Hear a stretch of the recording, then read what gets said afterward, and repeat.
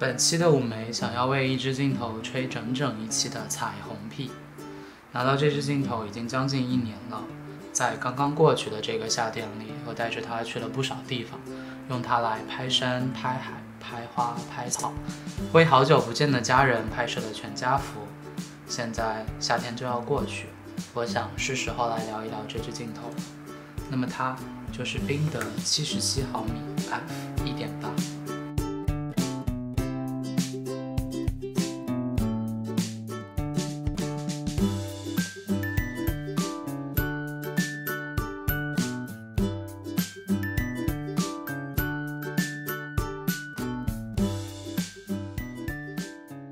宾得七十七毫米 f 一点八发布于一九九九年，这一年宾得公司成立八十周年，而距离它发布第一部全幅数码相机则还需要十七年，一个听上去相对尴尬的年份。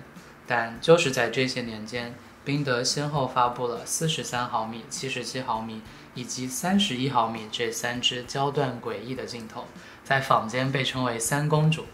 不知道这样的称呼 是不是有一些直男癌的意味？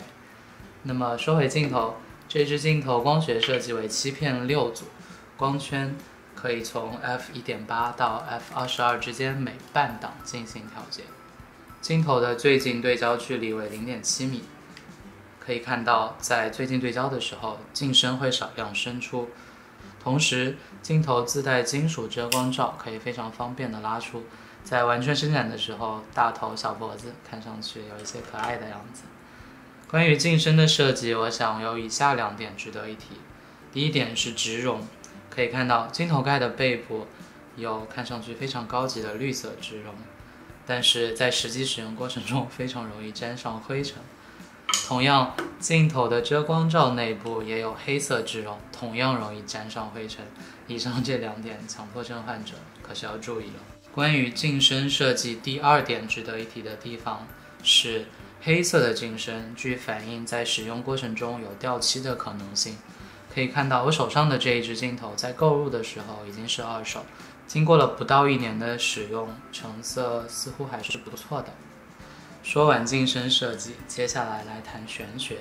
这支镜头发色清淡，成像细腻，可以说非常对我的胃口。如果我之前没有提过的话。我使用的相机一直是索尼 A 七三，A 七三的中长焦选择，当时大概有以下几个选项。如果为了轻便，我想我可能会选择徕卡九十毫米 s u m i c r o n。那如果是为了省钱呢？我想我可能会选择索尼八五一点八。在购入这支镜头之前，我也短暂的试用了索尼八五一点四。一点四的大光圈配合八十五毫米的焦段，可以非常有效的分离被摄体和背景。但是在回看的时候，发现八十五毫米的视角对于我的视觉经验来说，似乎是有一些窄了。那么七十七毫米这样诡异的焦段，它拍摄出来的画面究竟是什么样的呢？我想它不像三十五或是五十毫米这样的标准镜头，可以非常有效的带来临场感。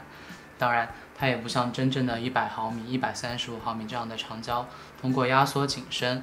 来表现出人眼视觉经验之外的画面。对我来说，七十七毫米在回看的时候，它可以在观察者和画面之间有效地拉出一段舒适的距离。那这样的距离，我想，不论是对于观察也好，对于反省也好，对于回忆也好，都是恰如其分的吧。关于这支镜头，想讲的可能就是这么多。